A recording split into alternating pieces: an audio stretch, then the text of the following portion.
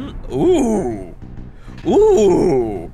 Ooh, ooh, ooh, ooh, ooh. Look at all of this. That was definitely worth it. We got ourselves a nice, nice haul. Hmm. Well, and also, yes. More horrible, horrible information about, uh, well, our wonderful Duke, Ian Dresari. Oh! Hello, the Ultra AC-20s. Well, that's a new variety of autocannon death. We're gonna have to look into that. But we got ourselves a Loki, a Thanatos, and a Thor. Hmm. Let's go see what those are. Well, let's see. Well, first of all, uh, did we lose our AC-20? Well, rather, the arm got damaged, so it just it demounted it. But let's see here. What do we got here? We've got, holy hell. These are heavy, but Jesus goddamn Christ. 36 damage. Woo, lad. We need a heavier chassis to put this shit on. So, uh, fortunately, we're gonna leave our bushwhacker behind for a minute and see if we can actually rig something together. Now, we got a Thor. Now, if I remember correctly, the Thor has blade. Well, this Thor is a little bit more balanced than the usual Thor. We've got Omni slots all over that goddamn place. And when you know it, we got enough... we got enough space! Look at that. Though, before we fuck with this, we're gonna look at the tonnages here. Okay, so we got... What do we got in the Thor? We got 70 tons. The Thanatos has 75 tons. And Loki has 65 tons. Loki, you are lightweight. Thanatos. It's already, it already comes with an LBX-20. I'm gonna have to take that out, though. Granted, you know... Well, we don't need to jump jets. Get that shit out of here. Hmm. Okay, armor is basically topped off, so... MRMs, that missile arm is basically going to be completely useless. An LBX-20, we're going to have to take that off now to fit our wonderful Ultra AC-20s. Which has what damage? Uh, what damage advantage? Oh, so, okay, so the AC-20 does 18 damage with a recycle time of 6. I'm assuming that's seconds. And it has a 250 uh, meter range. The LBX-20 has 300 meter range, 24 damage, and a 6 second reload time. So basically a flat increase in effectiveness. The Ultra AC-20 has, well, about the same range as the normal AC-20. Kind of limiting. But 36 damage, so even more damage. And basically the same exact re recycle time. So, honestly, it's just a, well, it's a competition between the Ultra AC-20 and the LBX-20. I think we're to take the Ultra. So we got that. So can we cram the- Yes, yes, yes, it's all coming together now. You see? Everything's perfectly fine. Though, I'm kind of sad that I won't be, be able to make any Thor's Hammers jokes because I'm not driving that mech. I would have done the same thing. But, I like the Thanatos as well, and the Thanatos gets even less attention. Everybody likes the Thor. The Thor is like... The, the Thor is like up there with the Mad Cat in recognizability in the Battletech universe. But today it will be the Thanatos, and it's just gallant goddamn stride. Now, as for, uh, as for upgrades, what are we gonna do with the rest of these? We want to make the gallant stride effective. We don't have enough tonnage, though. I don't think we need to go... Yeah, 75 is pretty good for a heavy mech. 81, not a not that big of a drop. So we got an, a, a little bit of extra room to play around with in here. It's probably going to be lasers. Got six tons. Hmm.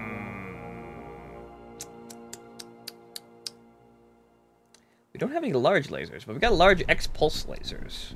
We got these. I think we could probably stuff that on here and get away with it. Though the heat buildup's going to be kind of a thing to manage. let's see here. Hmm, hmm, hmm. I feel a little bit uh, uneasy about only taking 40 shots for the Ultra, since it does fire two at a time. So I think 60 should be...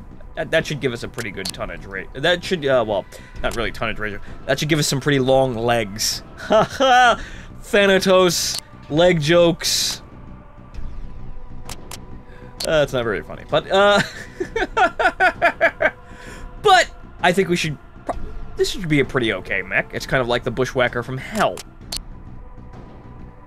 So, since we do have a range difference, we're not going to waste the AC-20 ammo like that. So, one is the long range, two is the middle range. Actually, all things considered, since we're going to be poking at things with the large pulse laser, I don't think we actually need to call in the LBX-10. So yeah, actually just mount that to 2 and fire them at the same range. We don't fire it until we're at 250. We need to see 2 and 3 on the weapon selectors light up before we open fire with the autocannons. Remember that, because I might not actually do it. now, um... Oh. Hello. I totally missed this. What do we have in terms of... I suppose we trade. Thunderbolts. Holy shit. oh, we can trade mech chassis. Well then. I suppose we can just get rid of our lighter mechs. That is kind of discounting the whole thing, actually. Well, actually, I don't necessarily... Uh, we're pretty kitted out in terms of mechs. We've got a pretty solid lance here with uh, Thanatos, Loki, and Thor. We basically, by taking that mech base, we basically looted a much more effective lance. We don't really need to buy anything. Well, there's that. Okay, now, Thanatos. And I suppose we're going to take the airbase now. We have a location on the local Dresari airbase. It is defended by mech patrols and turrets as well as its attendant aircraft. Taking it out should lessen enemy air support in this theater of operations. Alright, so uh, just a simple, uh, it, you know, walk in, clip their wings, walk out. Very simple. We got ourselves a heavy lance, and yeah, I think we're going to be pretty okay for taking, you know, just, you know, knocking over the barracks of a couple of fighter jocks. We'll be fine. Okay, Striker Lance. Op order as follows. Move to the airbase at Nav Alpha and destroy the air control tower and any aircraft hangars you encounter.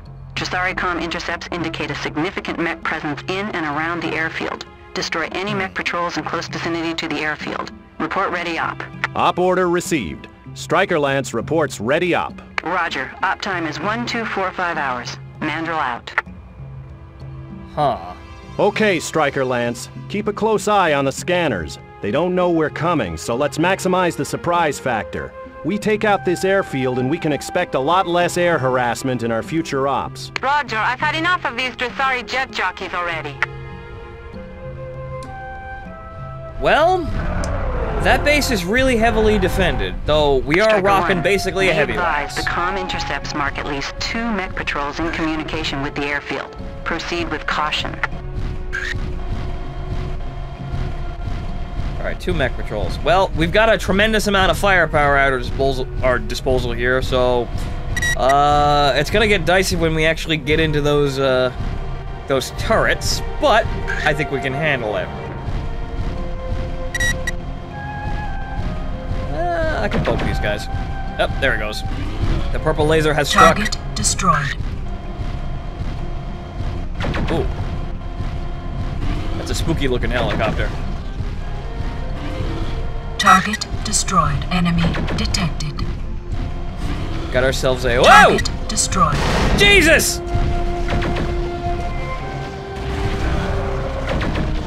Ah! God damn it! This is actually Target rather calm destroyed. music to be playing during a full-scale air attack. Just saying. That was actually pretty, uh, whatchamacallit. It's actually pretty fucking scary there! Target destroyed. Uh, the um, hmm, that makes me, you know, remember the uh, the lighter vehicles had well, actually no, like vehicles in general, and also aerospace fighters have a really uh, they're not very, you know, they're not very showy in the MechWarrior games. However, on tabletop BattleTech, they're really fucking scary. Barato's been showing me a thing called the Mech Buster, which is essentially a flying AEC, well, a flying LBX-20. So, yeah, just imagine, you know, four or five of them flying at you. Utterly terrifying. Though, uh, we won't be dealing with any of those today. Oh, look, it's another wolfhound. Ooh. Excuse me while I poke you there. Hang on. Just, uh, just stand still for one moment. Just... Well, the LB... The Ultra got him. Target destroyed. Though my aim is somewhat off.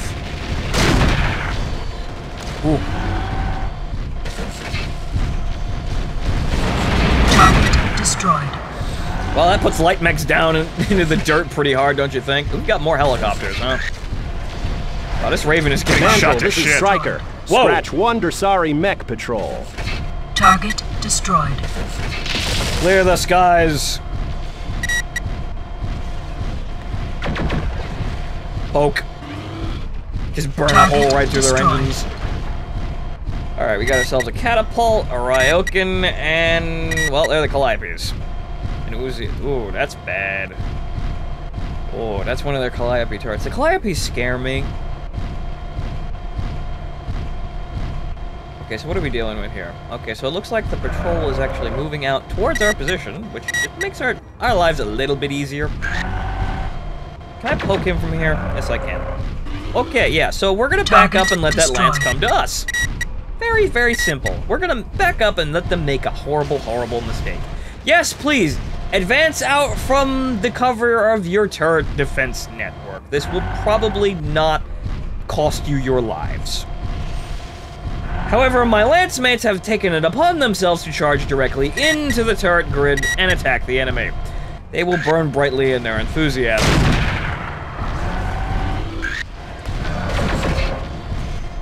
Uh, move just a little bit, just, there it goes.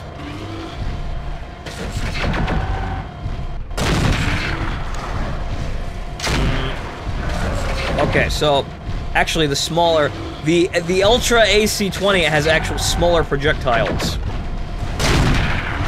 That's interesting. You just like, just, thank you. Ow, wow, we almost cockpitted that Ryoken. I think we might actually get away with it. Oh. Will you go down? Target destroyed. There it is. You also helped us with the catapult there. Thank you, sir. Mandrill, this is Stryker. Report a second mech patrol has been eliminated. Good work, Striker 1. Move to Alpha and commence airfield assault. Well, we're going right into the turret nets. Great, awesome, fantastic. I'm happy. Do we have any, anything, anything? Well, hmm, got a couple of powered down mechs there. That might be a problem. I can poke at them with the pulse laser. Also, as you can see, we're burning through AC-20 ammo, so yeah, maybe the extra ton was the good idea. Target destroyed. Okay, one big scary Calliope down. Enemy detected. Gotta get in closer here so we don't waste our ammo. Oh, oh, that's the heat buildup. Oh, Jesus Christ. Target destroyed. There's that. All right, I went. I read my weapon groups Enemy wrong. detected. God damn it! So I just gotta memorize it now.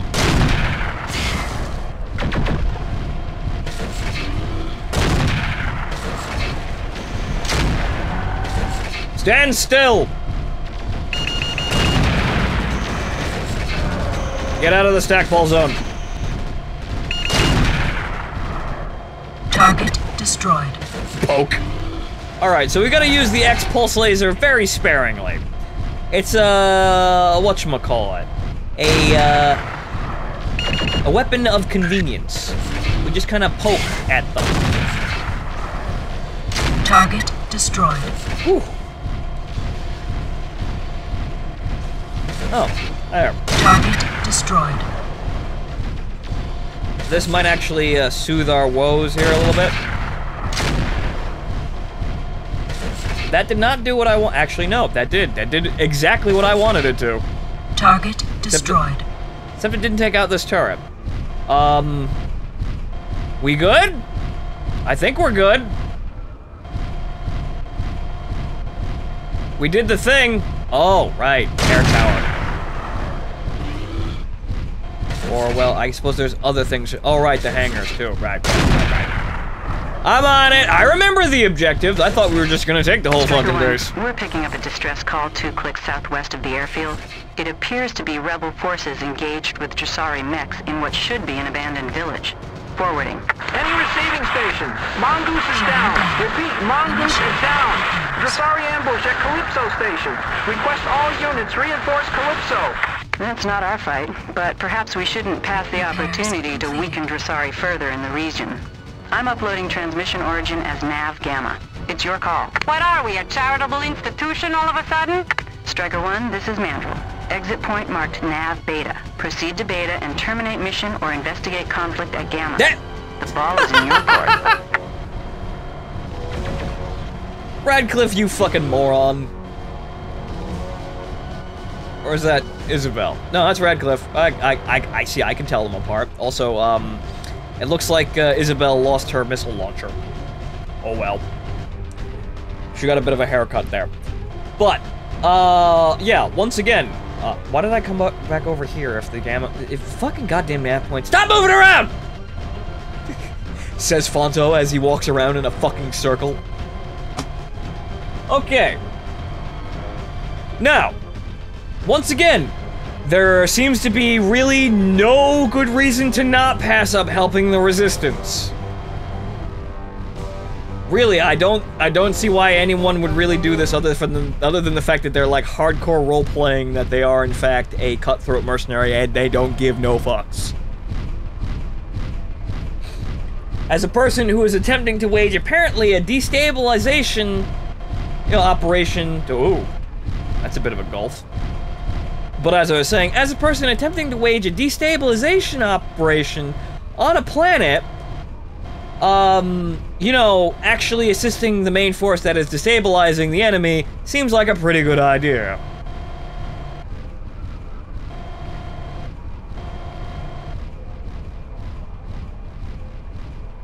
Now we will gallantly stride across this dry lake bed to assist our friends in the resistance in their fight against the bloodthirsty Enemy Duke in detected. Dresari. They will sing songs of praise for us for all time. The Battle of Calypso Station will be remembered. Now that hardly looks like a fair fight. Let's even up the odds. Hmm. This fight shall be remembered for the moment that, when all looked grim for the resistance, Phontomen in his gallantly striding Thanatos sauntered up over the hills and totally wrecked these scrubs. Ah, Amen.